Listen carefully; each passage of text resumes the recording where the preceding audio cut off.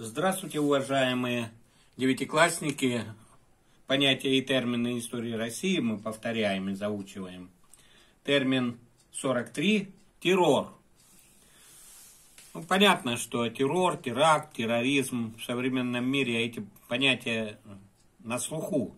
Они отождествлены с идеологией насилия, с пропагандой метода устрашения и людей, народа, и государства.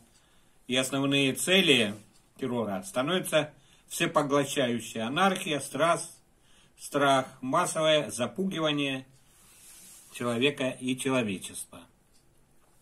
История террора берет начало с древних времен. Тогда, как и в средние века, в новое время, да и сегодня, верили и верят, что с помощью провокации и террора можно достичь определенных политических результатов.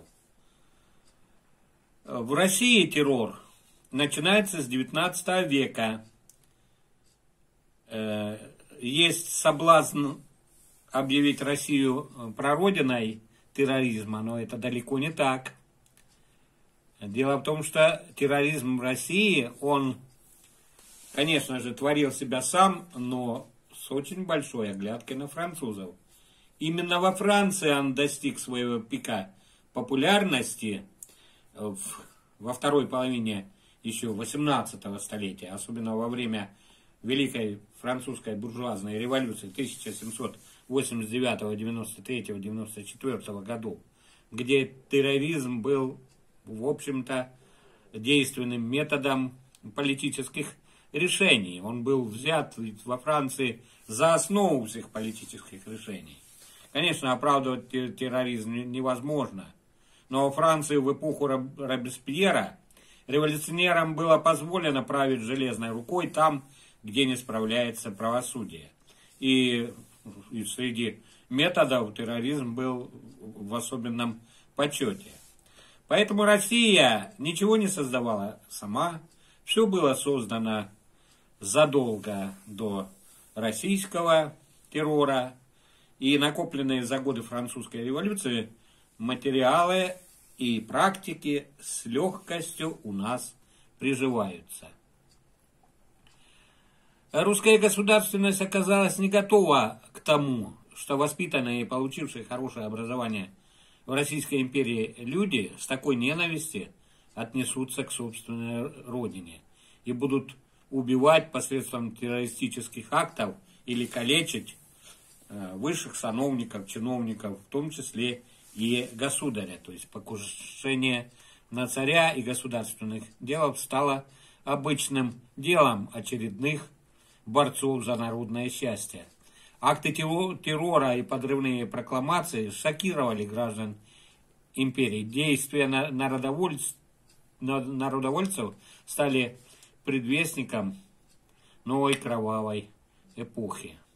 В целом, идеология народничества была тоже рождена на Западе. Правда, ее сформулировал создатель русского социализма и первый известный диссидент нового времени Александр Герцен. И идеи народничества идеи террора восприняли и развили русские интеллигенты – вроде Николая Чернышевского, Виссариона Белинского, э, Ткачева, Бакунина, Кропоткина. Однако это течение не было принято народом, вот в чем дело. Оно оставалось в узком кругу интеллектуалов. Движение народников совпало с либеральными реформами Александра II. Император отменил крепостное право и ввел в стране невиданные до этого вольности и свободы. В империи было учреждено земское самоуправление, суд был, обрел привычную для нас форму с присяжными заседателями и защитниками. Призыв убить царя и взять в топоры императорскую партию появился уже в 1862 году. И тоже в этом призыве большая заслуга и вина, конечно же, ложится на э, кружковцев-народников. Таким образом, таким образом. Терроризм в России и в мире, то есть террор как метод давления на государство, был широко распространен, особенно в XIX столетии. Систематическое применение насилия против чиновников и представителей власти, посредством которого левые политические движения XIX э, века, второй половины, стремились осуществить социальную революцию в Российской империи. И как массовое явление вот это применение насилия как раз и появилась после крестьянской реформы 1861 года. Выстрел Дмитрия Каракозова в Александра II 14 апреля 1866 года положил начало э, целой эпохи революционного террора в России, которая продолжится почти полвека. В своем развитии терроризм в России и террор в России имел два выраженных пика.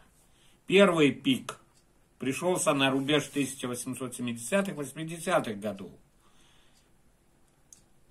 И второй пик, он с начала 20 века и особенно кризисный период для него это 1905-1907 годы. Вот эти два пика.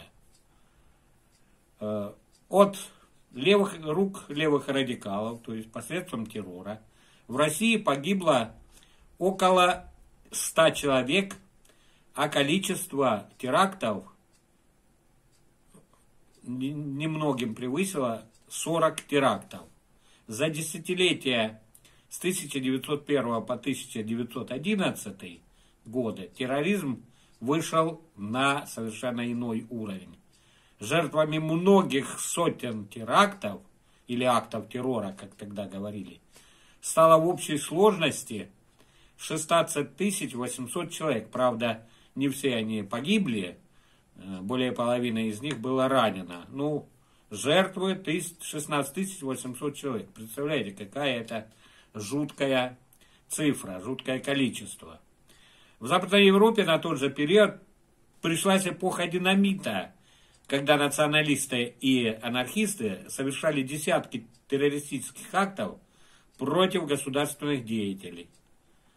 И это тоже в Европе велось практически повсеместно, повсеместно. Нельзя сказать, что только Россия э, отметилась террором. Э, надо сказать, что э, подъем Э, революционного терроризма начала 20 века в условиях политического кризиса, вызванного от, э, отказом правительства российского осуществить реформы, это одна из главных предпосылок от роста террора в этот период. Но то же самое, в принципе, было и в Европе. Надо сказать, что и размах терроризма, он нисколько не уменьшился даже в наши дни. То во Франции террористические акты, то есть акты террора, э, то в Германии мы слышим расстрелы. То есть все это продолжается и в наши дни. Поэтому очень важно и актуально это явление изучать, препарировать, находить методы Э, борьбы, профилактики этих антисоциальных актов. Спасибо за внимание. До свидания.